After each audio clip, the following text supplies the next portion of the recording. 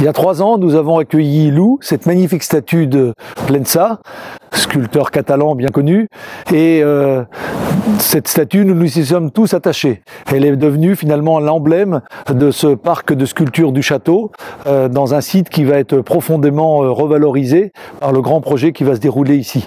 Et après ces trois années, eh bien, nous avons décidé de tout mettre en œuvre pour garder Lou ici à Caen. C'est pourquoi nous allons lancer une souscription publique et vous demander à vous, Canets et Canets, de nous aider à faire en sorte que Lou prenne définitivement son adresse ici, au château de Caen. Merci à vous.